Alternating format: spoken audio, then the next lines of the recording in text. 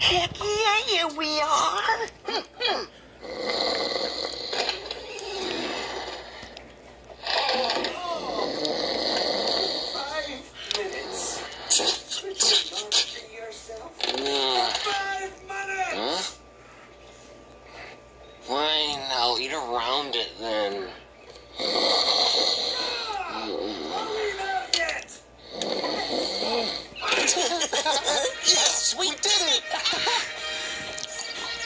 So, the mower's fine. The cart needs new tires. Are you two actually the first ones here? Mm, yeah, we are. We figured it was about time we started acting responsibly. Well, good. I'm actually glad to see you guys take a little initiative for once. Well, it had to happen eventually. yeah, it was only a matter of time. Okay, now that everyone is here, let's get started. Some teens tipped over the porta potties again, so someone's gonna have good show.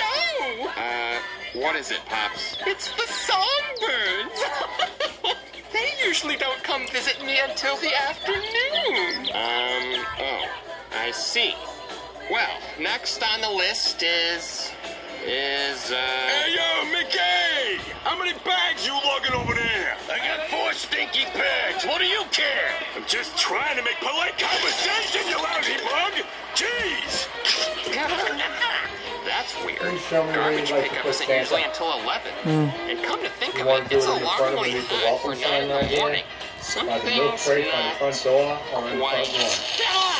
Hmm. The front Why porch. are the sprinklers going off two hours On the welcome porch. We The welcome blocks porch. at the wrong time and nobody even noticed. Yes. Everyone showed up two Um, hours late today. By the door or in the middle? Whoa!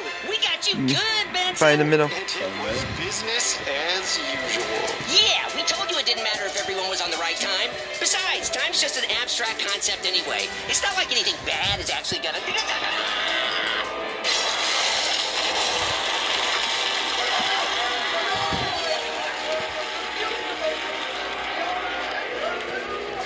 Goodness,